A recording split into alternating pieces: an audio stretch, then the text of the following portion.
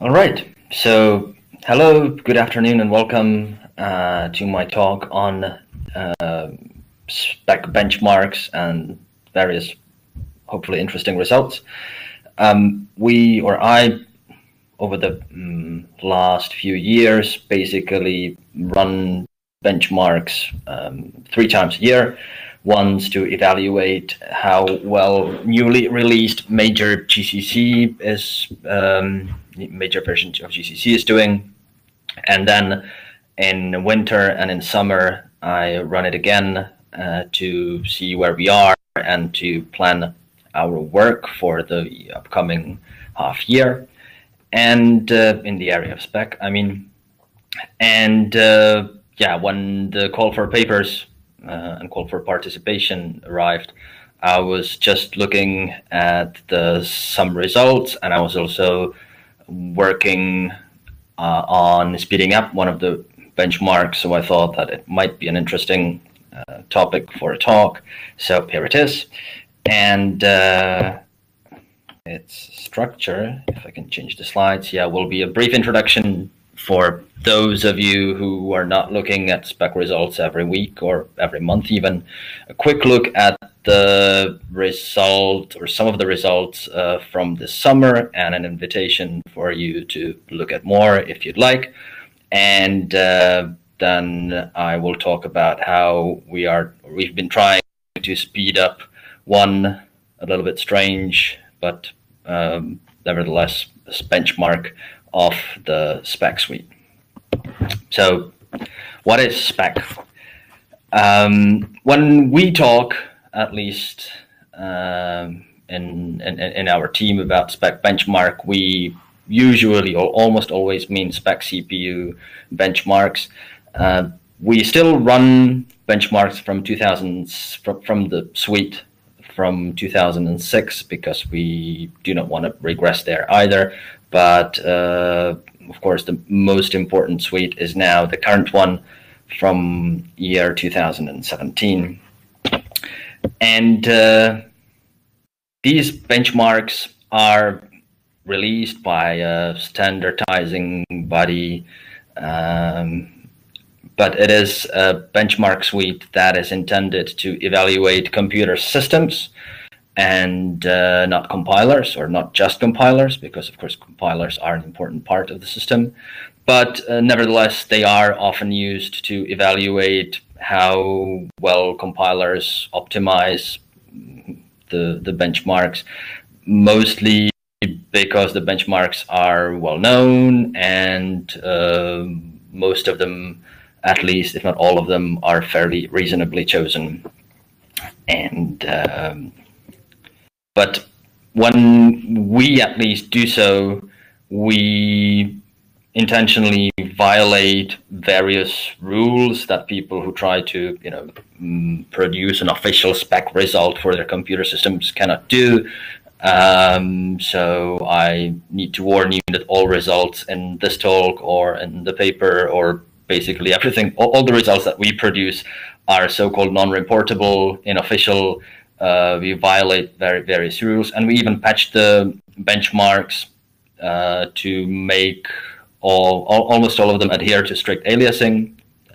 I'm not sure or if two or three benchmarks have a problem that their quicksort implementation um, is does not follow strict aliasing rules. It is just one function that we uh, basically mark as such, and with an optimizing attribute and we compile the rest with strict aliasing because strict aliasing is an important way how compilers can deduce what they can optimize and what they cannot. Um, and there are, and to fix other problems, for example, after the suite was released, people realized that fotonik uh, tolerance to rounding errors was way too strict for the purposes of being a benchmark. Uh, we do want to built all the benchmarks with now default FNO common. And uh, we have made other small tweaks, although this is almost all of them. Each benchmark suite, meaning both 2017 and 2006, the CPU suite actually is two suites. One to evaluate integer uh, workloads, and uh, one to evaluate how a computer system or a compiler, in our case, can optimize floating point programs. Um, and these are the benchmarks in each of the suites. So you can see that GCC itself, or an older version of GCC, is part of both 2017 and 2006. Uh, we have a benchmark based on the Perl interpreter.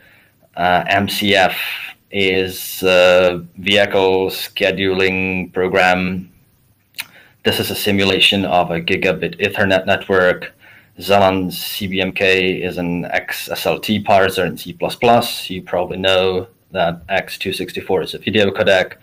DeepSjeng or DeepSjeng, I don't know how it is pronounced actually, is a chess program. Leela is a Go playing engine. Exchange, which we will be talking about, is a helper to create Sudoku puzzles. And XZ is a compression and decompression um, program that you might know, might be using.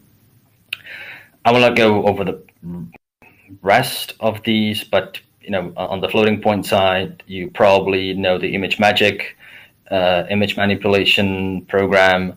Blender is a well-known uh, 3D uh, modeling program, but most of these are actually scientific scientific calculations. So WRF is a weather forecasting engine. B-Waves is a simulation of blast waves. Uh, NAMD is a biomolecular simulation. PAREST is also some medical imaging uh, programs. So, so these are mostly scientific uh, programs, and uh, these are all of them. For each benchmark, we run it or we compile it with different compilers and different options, and then run it three times and select the median, uh, median, and um, and we arrive uh, at having very many results. These are some of the results for one benchmark X264. It's only those uh, that have been compiled with OFAST. We have quite a few more that use O2.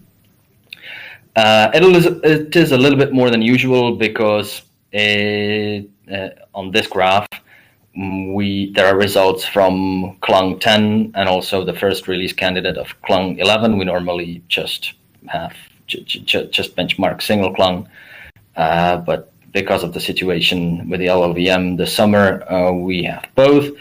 Um, but yeah, there are O2 results, and these are results just from a single computer, from uh, AMD's Zen 2 based server and uh, we always try to have results from also a recent Intel machine and sometimes even from two uh, different AMD machines. So um, yeah, we then happen to have a lot of numbers and in though in that pile of numbers we need to look for problems basically so regressions from previous versions um, especially when using new machines, new architectures. Those you know might have escaped continuous uh, benchmarking that I will be also talking about.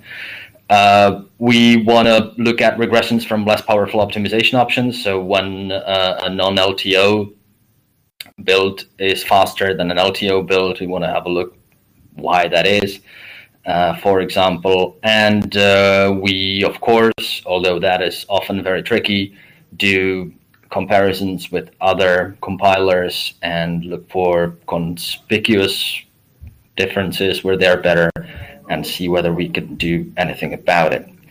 And uh, but yeah, the, the, these are not all the results, and uh, there are this many benchmarks. So even though we started just by putting it into a LibreOffice spreadsheet, we, I was quickly forced to come up with the script that would help me process the results. And over a few iterations, I arrived at a script that now currently generates uh, HTML reports, and uh, normally we use one with has all the data in it, and that is accessible from the engineering network if you have access to it. But uh, I because mostly because I do not want people to be comparing um, results across different machines. I also tweaked the script so that it produced um, so that it produces results which I'm more happy to talk about publicly, such as now. These are now pushed. The results from the summer benchmarking are pushed to uh, this page, and uh, the difference is that only the times are either presented relative to each other as a percentage of some other time, or um, when in, in bar graphs, basically the worst time is set to 500 on each machine and the rest is scaled accordingly. And um, now I will try to uh, share my screen and actually don't go over the next three or four slides, but show them on my screen. Let's see how it goes.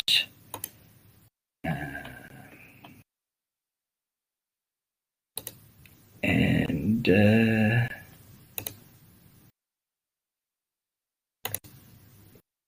all right. Can people see my browser? Not yet.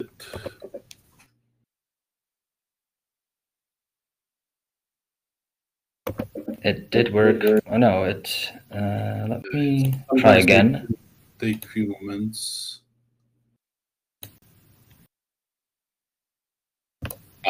Ah, yeah, we can now. All right. So this is the landing page, index HTML, basically. Uh, on the left-hand side, there are comparisons of the whole suites with different options. On the right-hand side, this is what we will begin with. There are reports on individual results from individual benchmarks. So uh, um, a little while ago, we were looking at X264. So I will open it up. And uh, yeah, it seems that you can see too. And these are all the results with the time normalized times on the right side and uh, sizes on the left side coming from one machine, the Zen2 based Rome uh, server. And then we have results, again, all of them, uh, actually more of them because we also vectorize with 512 bit vector uh, vectors uh, from Intel Cascade Lake machine. This is just too many to look at. So over here at the begin uh, at the top of the page, you can select what you want to see. So if we switched off, if we switch off all the O2 results, you can see that we are now having a graph that um, that looks like very much what you saw on my slides. And um, this is still too many. So often the most convenient thing is to probably just look at LT, LTO, OFAST, OFAST uh, um, native compilation. And what you can see that, for example, in on Intel Cascade Lake Xeon, the GCC7 was not very good at optimizing this benchmark. That's because the benchmark is very uh, sensitive to vectorizing. And uh, one of the examples in my LabsConf talk two years ago was actually on how GCC8 uh, was much better at vectorizing this particular benchmark. So as you can see, it improved a lot. On that's not the whole story. On the other hand, on GCC8 on Zen improved a lot. as you can see over here. But then GCC 9 was actually worse. And the reason is that GCC 9 is the first compiler that knows about Zen 2. Previous compilers, uh, GCC 8, 7, and even 6, uh, treat it as a Zen 1, which means that they prefer to vectorize using 128-bit vectors and not 256, which the newest Zens are able to process natively or without splitting them into halves now.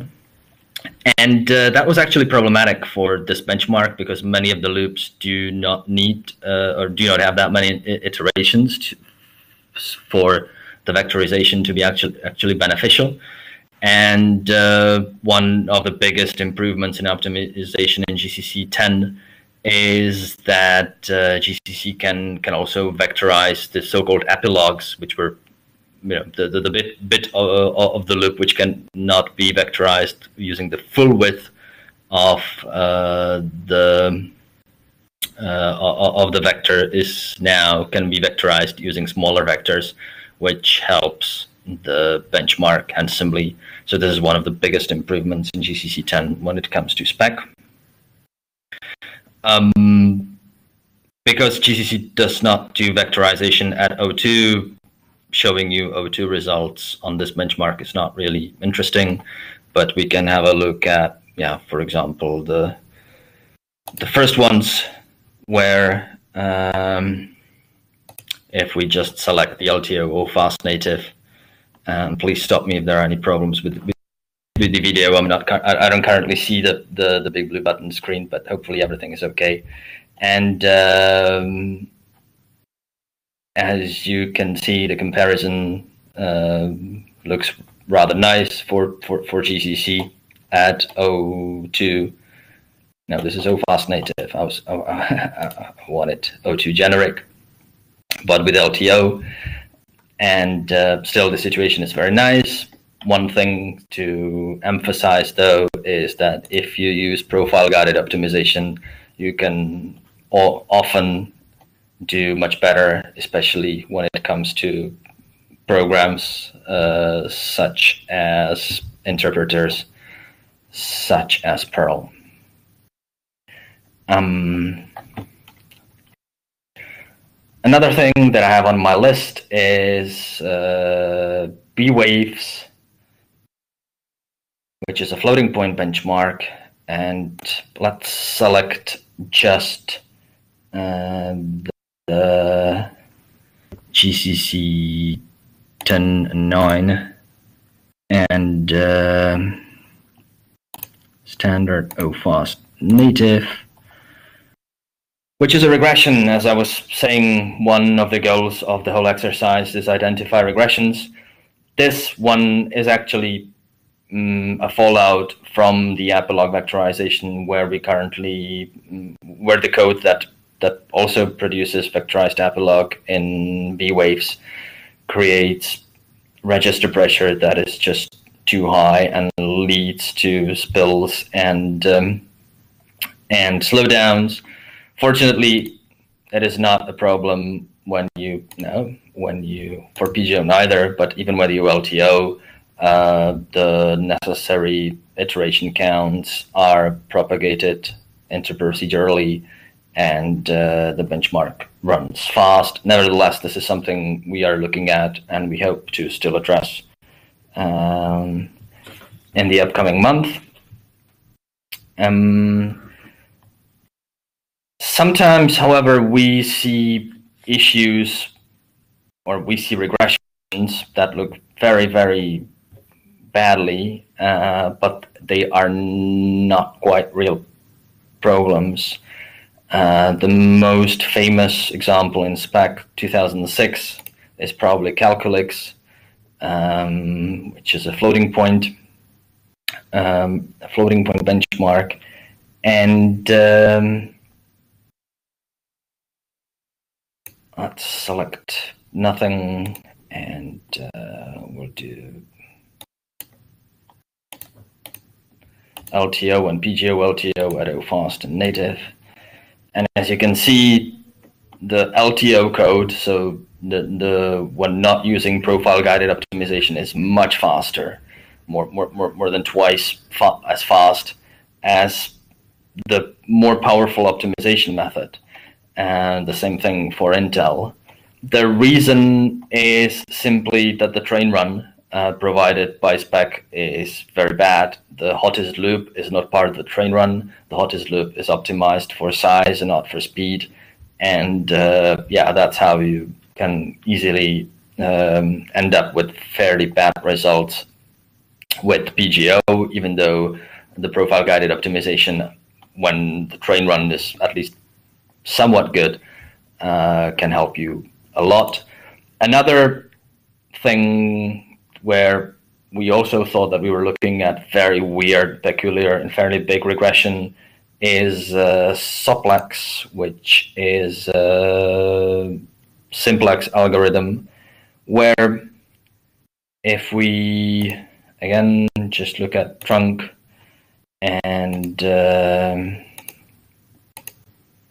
when we compare at OFAST, you know, tuning for a gener- generic x86 64 machine and native on both machines, but especially on on uh, Zen 2, the native tuning is much worse. The reason for this is the structure of the benchmark. Basically, the algorithm, the whole program, um, or, or, or, the hot loops iterate until a result converges.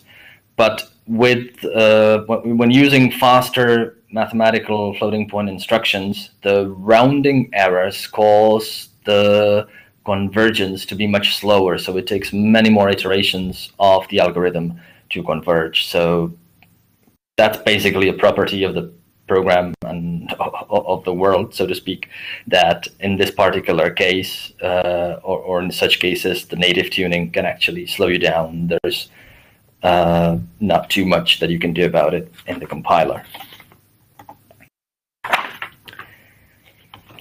You are, of course, welcome to have a look at any of the individual benchmark results. There are too many to go over in this talk. Uh, over here on the left, we have comparisons across the whole suite. So the whole CPU Intrate with you know with a selection of compilers and options. Then the whole Spec 2017 FP rate and the same for 2006 integer and floating point versions of the or or additions uh, of the spec CPU suite. In each talk, we try to um, show people that they really should consider using LTO and PGO, like I've been already doing, I believe, but nevertheless, let's have a look at uh, how LTO and LTO PGO helps. So this is what comparison of a whole suite uh, looks like. Basically, you, what we are comparing to the baseline is the normal compilation at O2. Um, and normal means without LTO, without PGO and uh, that's 100%. And uh, in all the results, in as you probably have already noticed, in, in all the results in this talk, the, the, the smaller numbers are better. This basically means that Perlbench, when you use both LTO and PGO, runs almost, well, 14% faster uh, than uh, when you do not use any of those. So, so small is good, and green is good.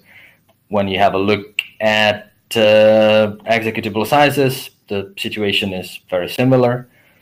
Um, yeah, we, we will be talking about Exchange. We we are still looking at Exchange. Exchange is often a, an, an outlier and a problematic case, but but we are working on it.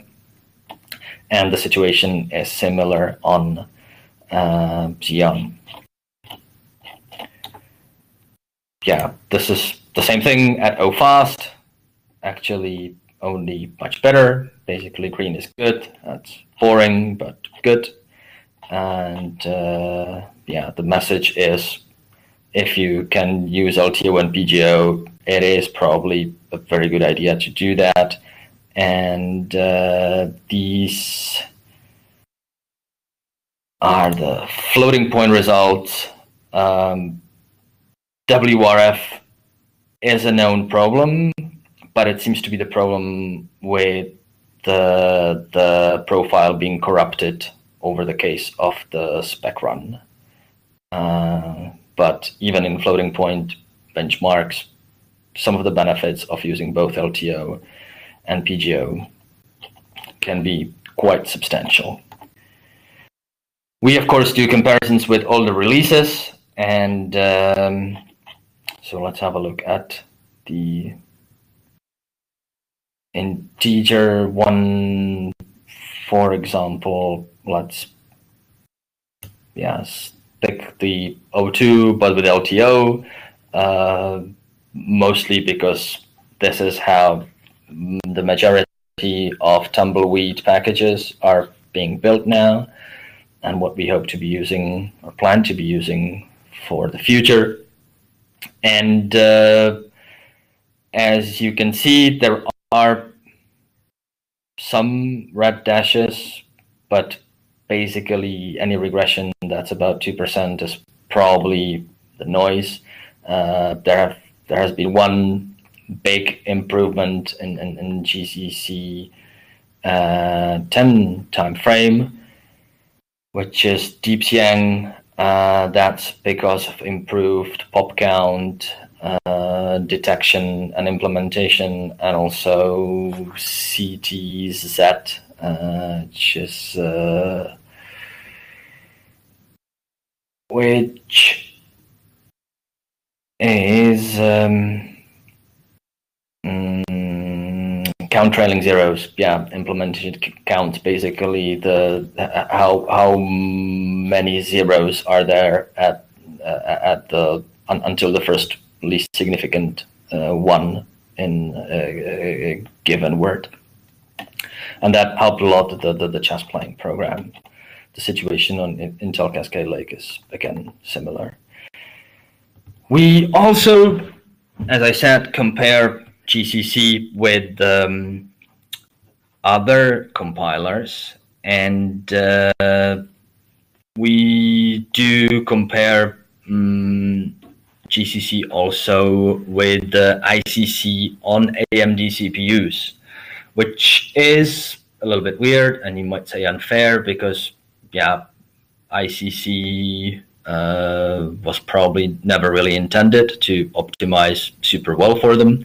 Nevertheless, the ICC compiler is well known for doing high level optimizations well as well, uh, which means various necessary loop transformations and especially um, vectorization. So we uh, do that comparison as well. Uh, that's why over here in, in, in the group, I'm not sure if you can see the the, uh, the my cursor, but basically in the group that compares ICC um, against GCC, uh, you can see the options using AVX2 because that's how we simulate the native target uh, on ICC, and uh, or or xHost, which is what we which is basically the direct equivalent of uh, March native, MTune native on on ICC. We can have a look at how we are um, uh, how we are doing, for example, on the AMD machines, which recently interest people more usually. And uh, the overall result is actually quite nice. This is without, uh, this is at OFAST, uh, and because we generally only compare against other compilers at OFAST because the meeting of uh, other optimization levels is not quite the same and directly comparable. Uh, and, and, and given that our results are, are, are quite nice, it is also nice that our ex executable sizes are much smaller. Uh, ICC is known to be optimizing much more, um, much more um, aggressively with LTO. Um, so the situation is not as nice with LTO, but the real problem is actually exchange, and that's something we'll talk about in a bit. Um, before jumping to floating point, let's actually have a look. What is the situations in the uh, in the integer spec benchmarks when we compare our GCC with Clang? And uh, just need to find the right Clang. The problem with Clang is that uh, it does not yet have a functional Fortran front end, and now there is even one Fortran benchmark exchange, uh, even in the integer suite. And uh, yeah, that makes it slightly problematic. Um, if we have a look at uh, fast, I see that there are some compiler errors which I do not remember, which is weird when I was preparing this talk. Um, let me have that. Let me see if I can.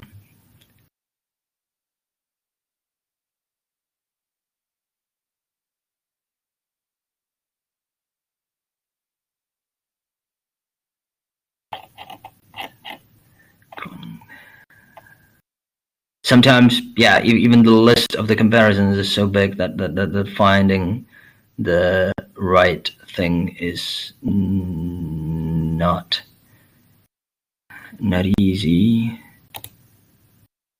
But yeah this is the one this is the one that i wanted to that i wanted to click originally. And uh, as you can see exchange cannot be compared but apart from that gcc on integer benchmarks is doing uh, fairly nicely.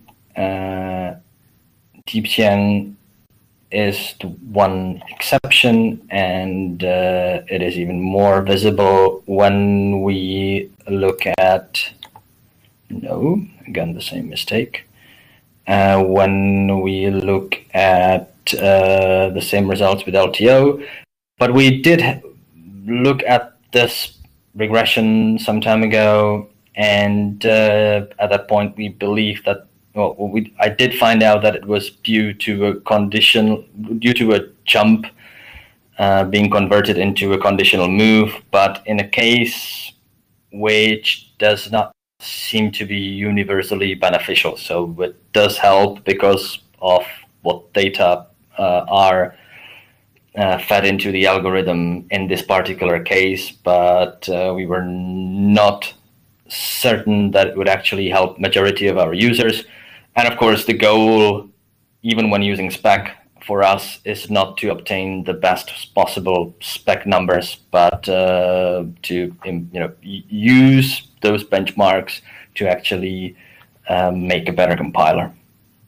But nevertheless, in when it comes to integer benchmarks, GCC is doing nicely against ICC and, and, and the Clang. With floating point, uh, the competition is much more stronger. If we have a look at ICC, which traditionally is very good at uh, at optimizing floating point code, um, and let's have a look at directly at LTO.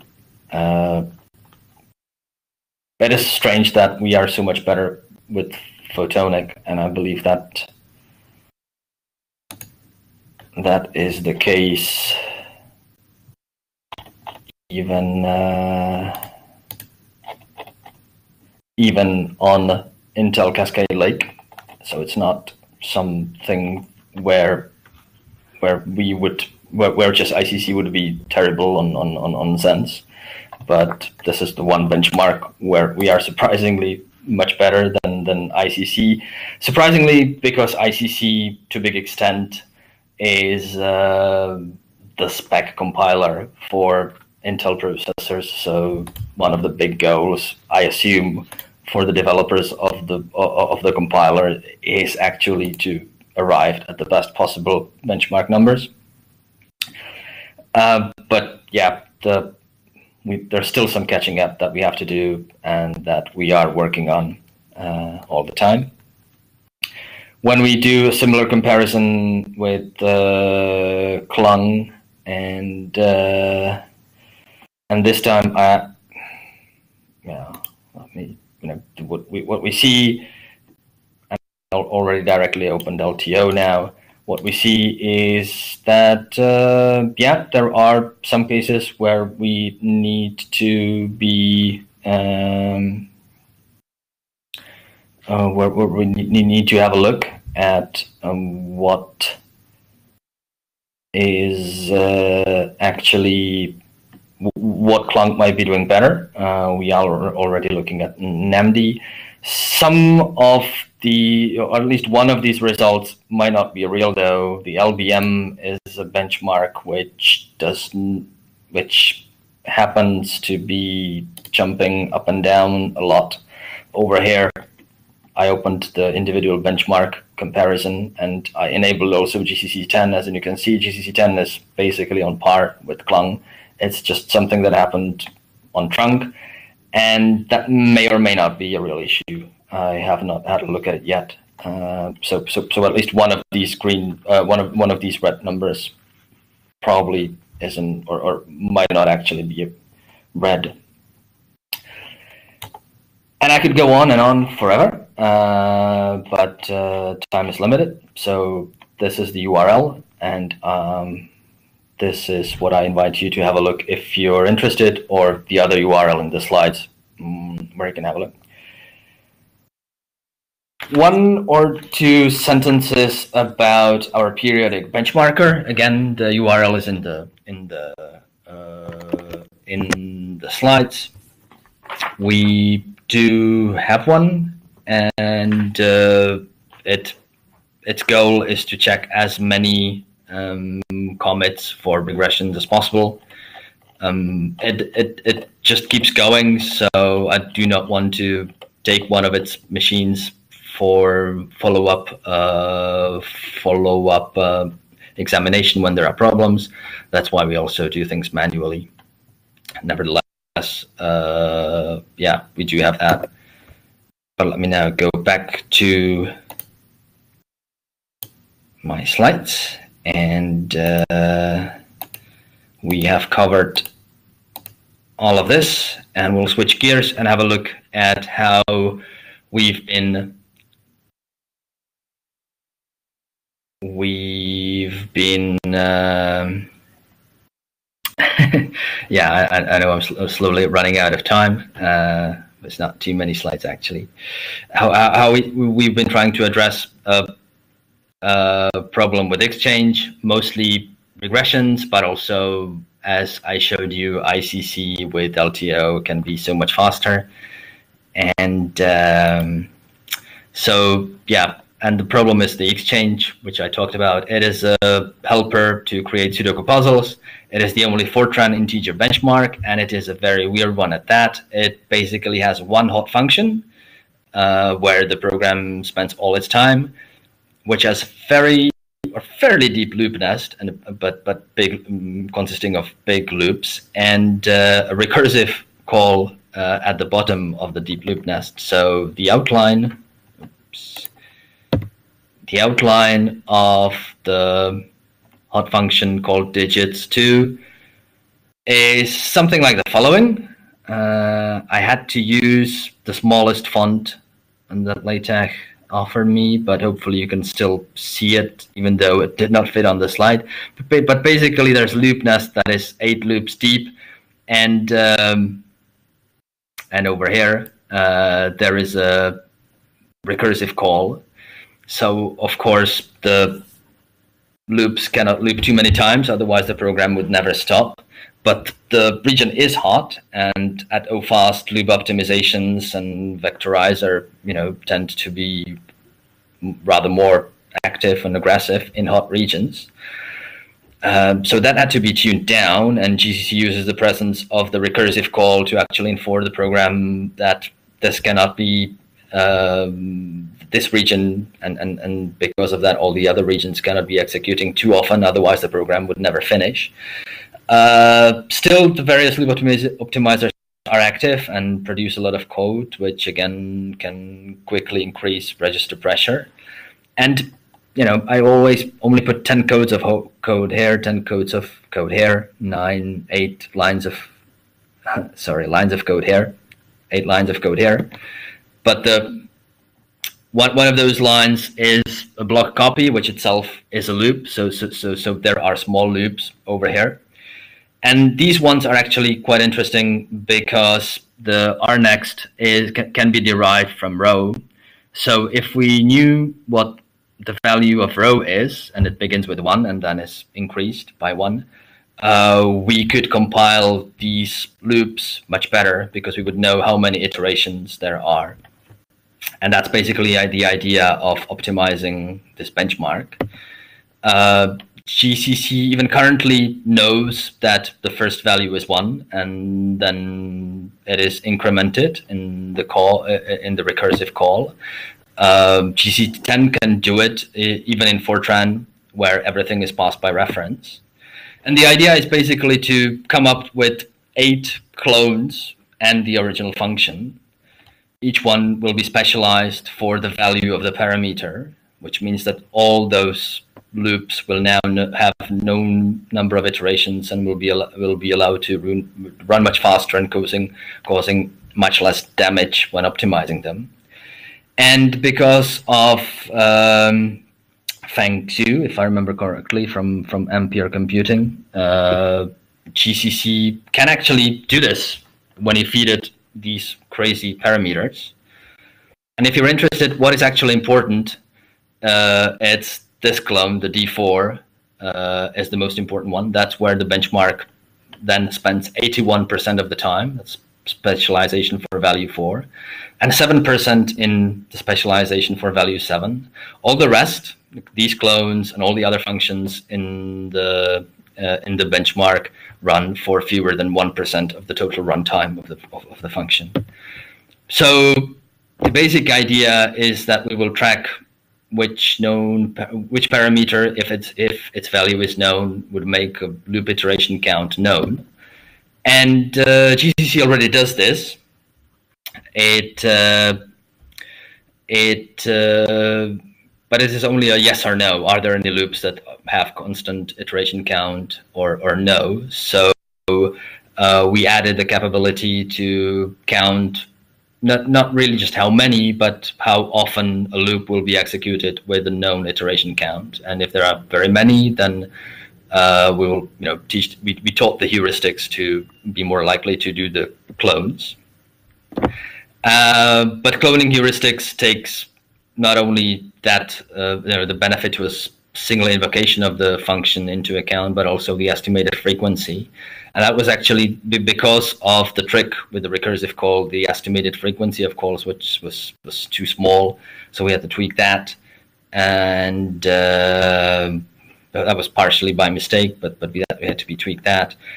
The optimization pass had to be taught that for small limits, it can grow the compilation unit a little bit more.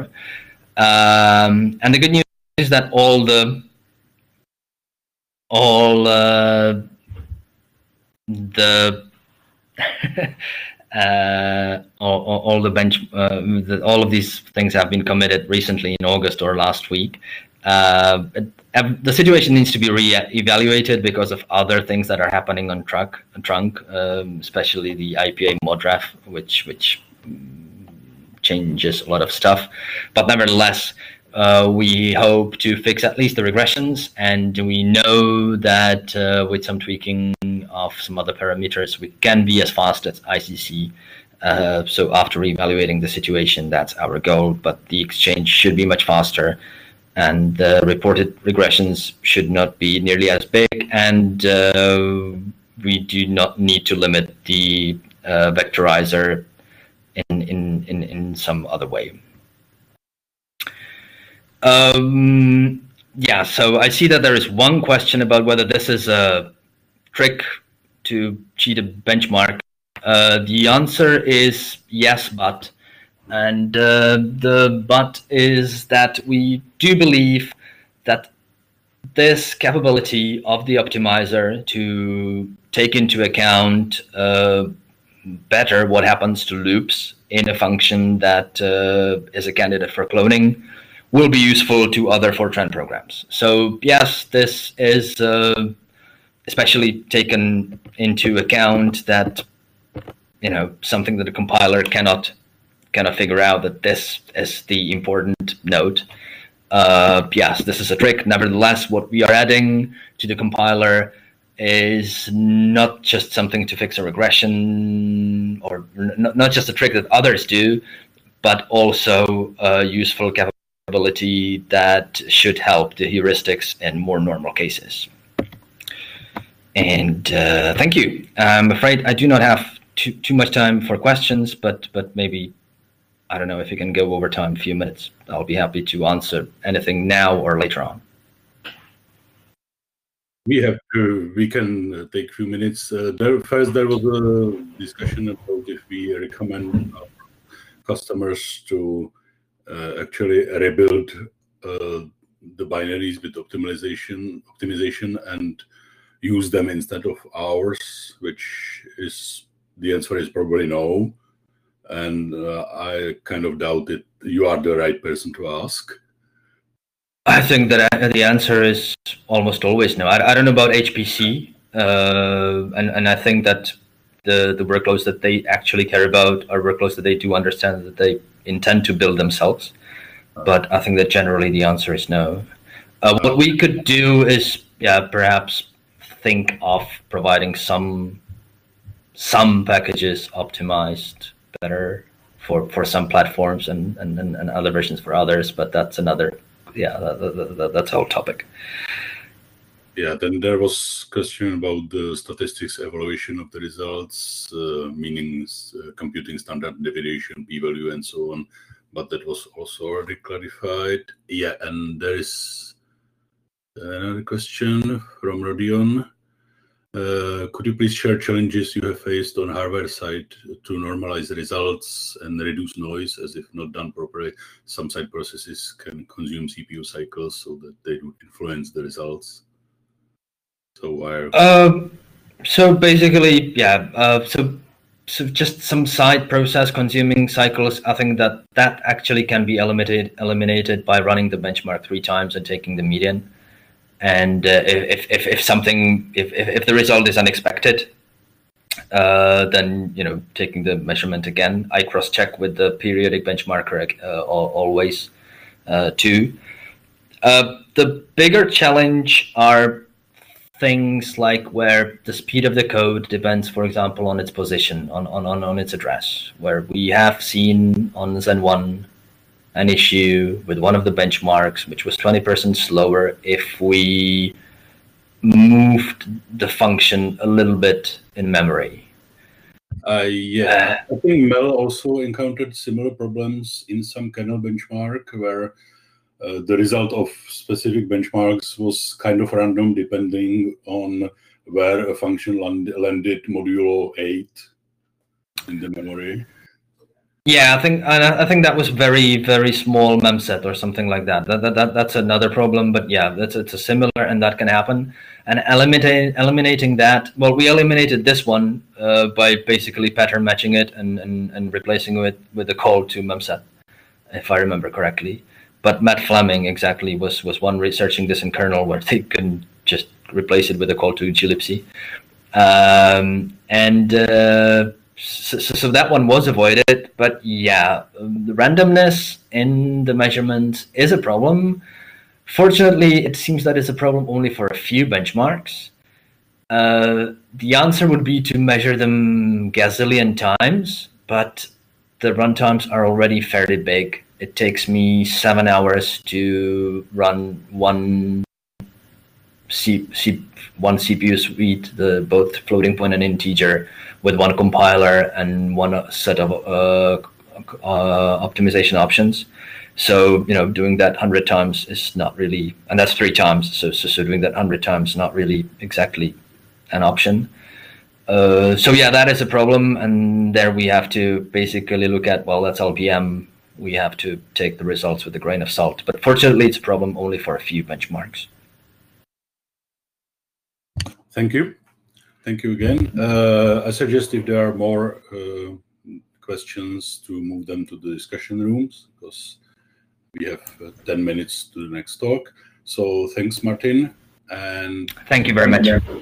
Let's stop the recording.